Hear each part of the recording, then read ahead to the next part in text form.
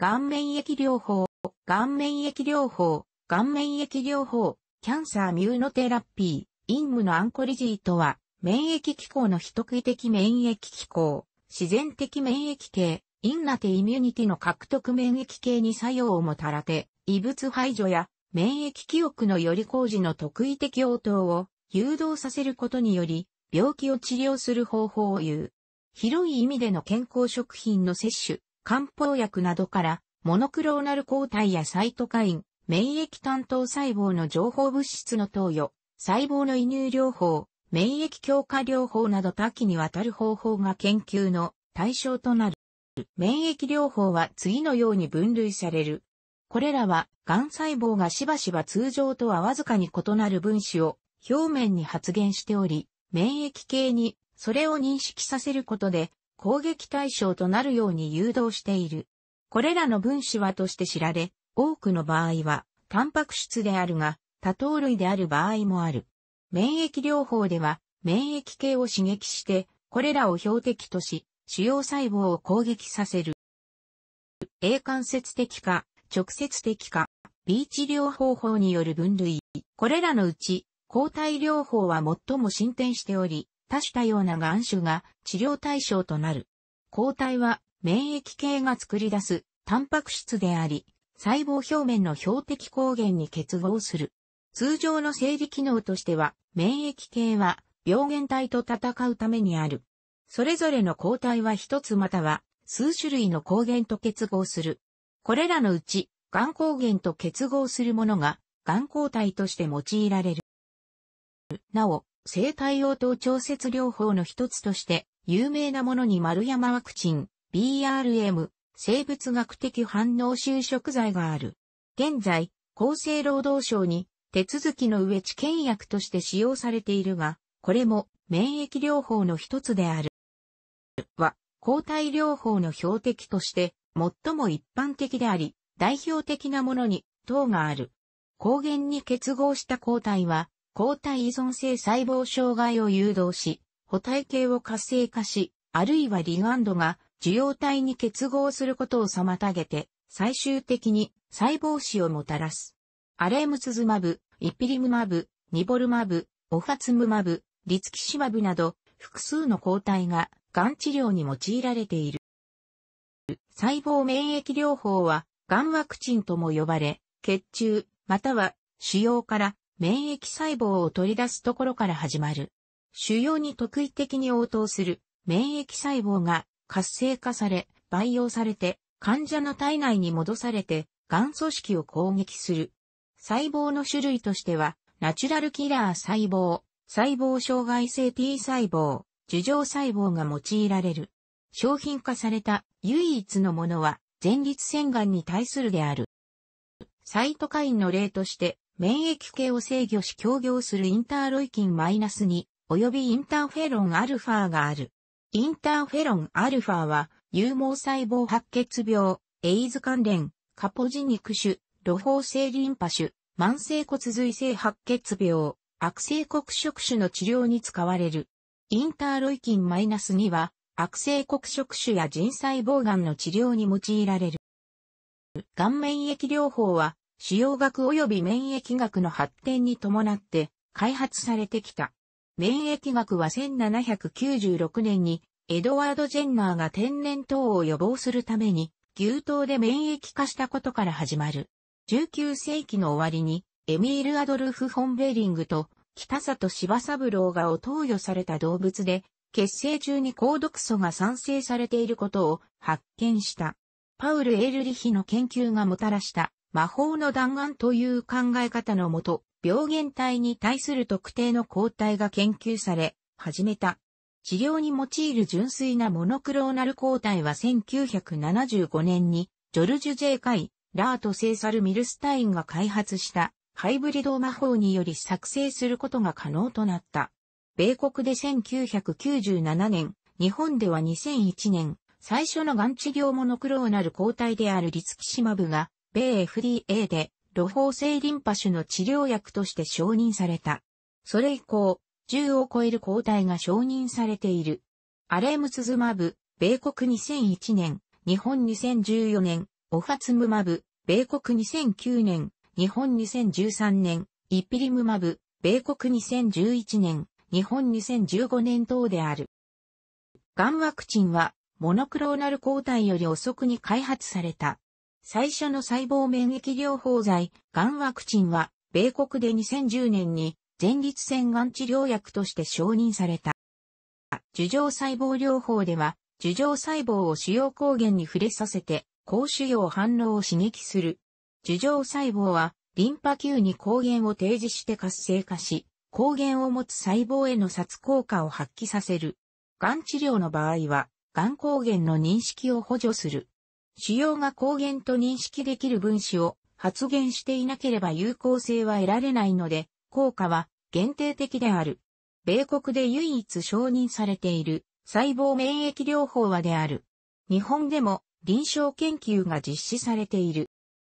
樹状細胞を誘導する方法の一つに、短いペプチド断片に切断した抗原を用いた活性化がある。ペプチド断片のみでは十分な誘導効果が得られないので、アジュバント、抗物質を合わせて使用する。これは強い免疫反応を弱気し、時に免疫系が強固な高腫瘍活性を持つことがある。樹状細胞を誘引し、活性化する物質の例として、他に GMCSF がある。樹状細胞は GMCSF を発現している腫瘍に対して体内、インビボで活性化する。これは遺伝子操作で腫瘍細胞が GMCSF を作るように加工したり、GMCSF を産生する特性を持った腫瘍用改正ウイルスに感染させるなどの手段により達成される。もう一つの方法は樹状細胞を体外、X ビボに取り出すものである。樹状細胞は主要特異的なペプチド、タンパク質、あるいは未生成の主要細胞有害物で活性化される。活性化された樹状細胞は体内に戻されて腫瘍に対する免疫系を不活化させる。体外で獲得した高腫瘍活性を増幅するためにしばしばアジバントが全身投与される。より新しい樹状細胞療法では、樹状細胞の表面にある受容体に結合する抗体が用いられる。抗体に抗原物質を加えると、樹状細胞を成熟させることができる。この方法で用いられる樹状細胞受容体には TLR3 等がある。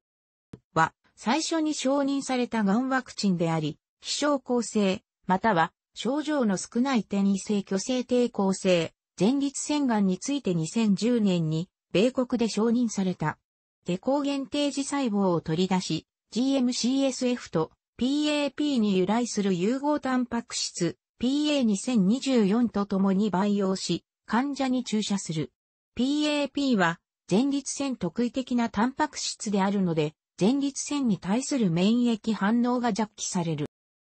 抗体はの用となり、外来抗原の認識及び免疫応答の促進の両方で中心的な役割を担う物質である。免疫療法と呼ばれる多くの方法が抗体を用いている。モノクローナル抗体が開発されて、通常主要細胞表面に発現していないタンパク質をも標的とすることができるようになった。がん治療に用いられるモノクローナル抗体には2種類がある。抗体にはマウス抗体、キメラ抗体、ヒト化抗体、完全ヒト抗体の4種類がある。マウス抗体は最初に開発されたが、非ヒト化動物に由来する抗体であるのでそれ自身が免疫の標的となった。キメラ抗体はマウス抗体のを減弱したものであり、マウス抗体の定常領域をヒト抗体に置き換えたものである。ヒト化抗体はそのほとんどが人に由来する抗体で、可変領域の相補性決定領域のみがマウス由来となっている。完全ヒト抗体は100%人の遺伝子から作られた抗体である。抗体依存性細胞障害、アドックとは、標的細胞表面への抗体の結合を介する免疫の攻撃システムである。抗体は結合領域、ファブと FC 領域からなり、免疫細胞は FC 受容体で認識される。FC 受容体はナチュラルキラー細胞、NK 細胞を含む多くの免疫細胞で見られる。NK 細胞が抗体が結合した細胞を見つけると、抗体の FC 領域と NK 細胞の FC 受容体が相互作用し、矢が放出され、主要細胞子、アポトーシスを誘導する。この種の抗体には、リツキシマブ、オファツムマブ、アレムツズマブなどがある。開発中の第3世代の抗体は特定のタイプの FC 受容体、FC ガンマリーヤに特に親和性が高く設計されている。FC ガンマリーヤは強烈なアドック誘発性を持っている。補体系は表面に抗体が結合した細胞に細胞子を引き起こすタンパク質を含む。これはと呼ばれ、補体系の作用の一つである。一般的にこのシステムは外来病原体に対処するが、癌においては治療抗体で活性化することができる。キメラ抗体でも、ヒト化抗体でも、完全ヒト抗体でも、イグ1を持っていれば有効である。補体は、抗体が主要細胞表面に結合した時に、固体依存性細胞毒であるを形成して、細胞膜に穴を開け、抗体依存性細胞障害を増幅し、依存性細胞毒性を増強して、主要細胞死をもたらす。免疫チェックポイント阻害とは、免疫の抑制チェックポイントを塞いでしまう方法である。免疫機能を不活したり抑制したりするシステムで、癌のチェックポイントを阻害すると免疫系のそもそもを解くことができる。細胞膜貫通型のプログラム細胞子1、タンパク質、PDC1、PD-1、CD279 とそのリガンドである PDL1、CD274 の相互作用は、癌治療の対象として盛んに研究されている。正常な生理的条件では、細胞表面の PDL1 は免疫細胞の PD1 と結合し、免疫細胞活性を抑制している。癌細胞表面では PDL1 が増えており、さもなくば攻撃してくるであろう。T 細胞を抑制すること免疫系を回避している。PD-1、または PDL1 に抗体が結合すると、両者の相互作用が阻害されるので T 細胞が攻撃を開始する。ニボルマブと呼ばれるイグ 4PD1 抗体を用いた最初の臨床試験が2010に公表され、日米で2014年に、欧州で2015年に承認された。ペンブロリズマブも、また2014年に、米国で承認された。も、また免疫チェックポイントの一つである。クトラマイナス -4 は、細胞障害性 T 細胞、CTL に抗原を提示する樹状細胞に認識され、CTL に対して阻害シグナルを提示する。このクトラマイナス -4 を阻害することで、細胞障害作用を停止できずに、主要細胞は破壊される。クトラマイナス -4 に対する最初のモノクローナル抗体は、イピリムマブであり、2011年に欧米で、2015年に日本で承認された。サイトカインは主要に存在する種々の細胞で産生される多彩なタンパク質の一群であり、免疫反応を制御できる。主要細胞はしばしばサイトカインを操り、腫瘍を成長させ、免疫応答を欺く。これらの免疫制御効果を逆用して、免疫を刺激することもできる。最も頻繁に使われるサイトカインは、インターフェロンとインターロイキンである。インターフェロンは免疫系が産生するサイトカインであり、通常抗ウイルス作用を不活化するが、癌に対しても用いられる。I 型、EFN-α、EFN-β、EFN-γ、EFN-λの3種類に分類される。EFN-α は米国では、有毛細胞白血病、エイズ関連、カポジ肉種、露胞性リンパ種、慢性骨髄性白血病、悪性黒色種について承認されている。 I 型及び E 型 EFN は幅広く研究されており、どなたも高腫瘍免疫機能を誘導するが、臨床効果は I 型でのみ見られる。EFN ラムダは実験動物モデルでの高腫瘍効果が見られている。インターロイキンインターロイキンは免疫系の効果に関する物質の一群である。インターロイキン -2 は悪性黒色種や腎細胞癌の治療に用いられる。正常な生理条件下では、エフェクター T 細胞と制御性 T 細胞の両方を活性化させるが、癌治療における役割は判明していない。日本の厚生労働省は1980年代に、河原竹、クーリオラスバーセカラー抽出物であるクレスチン、ポリサッカリド系を化学療法実施中の患者の免疫増強の目的で承認した。米国や他の行政機関はサプリメントとして承認している。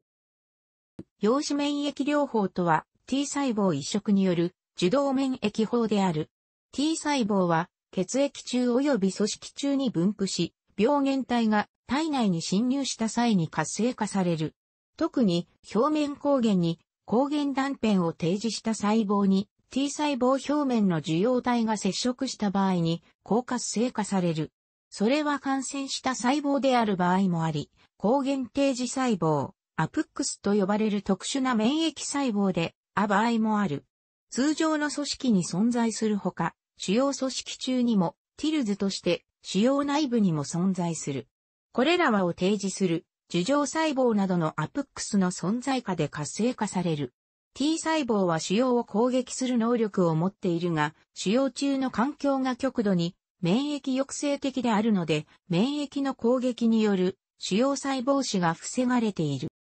腫瘍を標的とする T 細胞を産生する方法がいくつか発見されている。主要抗原特異的な T 細胞、ティルズを主要組織の中から取り出し、または血液ろ過で採取し、活性化と培養を体外で実施し、患者に再移植する。体外に取り出した細胞を再び体内に戻すので、陽子免疫療法と呼ばれる。T 細胞の活性化は遺伝子治療の手法で実施できる。あるいは T 細胞を主要抗原に暴露する方法もある。研究は進んではいるが、治療法として認可された方法はない。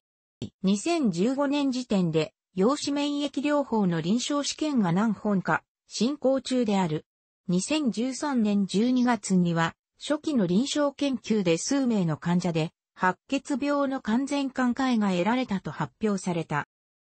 その他、ハプロタイプが一致した健康なドナーからガンマデルタ T 細胞、または NK 細胞の移植を受ける方法もある。この手法の主な長所は GVHD を起こさないことにある。この手法の短所は移植細胞が期待通りに機能しないことが多いことである。高 CD47 抗体は主要細胞が宿主の免疫系に攻撃しないように指示を出すタンパク質を阻害する抗体である。CD47 は様々な癌細胞株やマウスでも見られ、癌細胞のみならず、正常細胞でも見られる。CD47 が阻害されていると、癌細胞がマクルファージに飲み込まれた後、宿主免疫系の CD8T 細胞が主要組織に集まってきて、マクルファージに続いて主要組織を攻撃する。細胞表面の多糖類抗原は免疫療法の標的となり得る。は、多くの眼種の細胞表面で見られるガングリオシドで、神経目細胞種、網膜目細胞種、悪性黒色種、小細胞肺がん、脳腫瘍、骨肉種、黄門筋肉種、ユーイング肉種、脂肪肉種、平滑筋肉種、その他の南部肉種から見つかっている。正常細胞の表面には存在しないので、免疫療法の良い標的となる。2014年時点で大愛愛臨床試験、大 E 愛臨床試験、大 E 愛臨床試験が実施されていた。からは、多糖類をはじめとする免疫不活作用有志抗がん作用を持ち得る化合物がいくつか見つかっている。例えば、レンチナンなどのベータグルカンは実験では、マクルファージ、NK 細胞、T 細胞、免疫系サイトカインを不活し、としての臨床試験も実施されている。アガリクス、 Agaricus subrufescens、しばしば Agaricus blazei と呼称されるシイタケ、 Lentinula edodes、マイタケ、 Grifola frondosa、ヤマブシタケ、 Hericium erinaceus は、ベータグルカンを産生するタケとして知られており、抗がん剤としての可能性が試験されている。腫瘍細胞の多くは遺伝子が変異している。これらの変異から読み出されたタンパク質は T 細胞免疫療法の標的となり得る新たな抗原、新生抗原となる可能性がある。癌障害性の CD8T 細胞は RNA 配列を読み出しており、10変異の主要でより多い。MK 細胞及び T 細胞の細胞障害作用に伴う RNA 読み出し量は多くの人腫瘍において増加している。ランブロリズマブで治療した非小細胞肺がんでは、変異 RNA の読み出し量は治療成績と密接に関係していた。イピリムマブで治療した悪性黒色種患者では、長期投与の有効性が変異 RNA、読み出し量に相関していたが、著しいものではなかった。主要組織的合複合体、MHC 結合新生抗原で患者の長期的、臨床利益を予測する試みが様々なテトラペプチド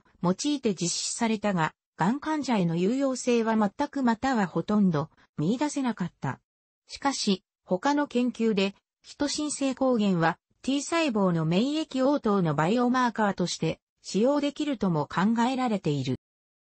米国では2010年にが承認され、続いて2011年にイピリムマブが承認されると、マスコミが顔免疫療法を取り上げるようになった。免疫療法は、癌の代替療法として広く知られているが、免疫療法の療法とは特に医師ライセンスを持っていなくても行うことができる、いわゆる民間療法の場合がある。その実態は様々であり、中には無治療と同等のものが存在する。また、癌を対象にした細胞療法など医療機関が行う治療ではあるが、1クールで自由診療では数百万円になる場合もあり、患者に対してかなりの高額請求をするクリニックも存在する。抗体やサイトカイン等、医薬品として製造承認されたものを除き、多くの場合、免疫療法は現在科学的エビデンスが十分に検証されてない状態にある。楽しくご覧になりましたら、購読と良いです。クリックしてください。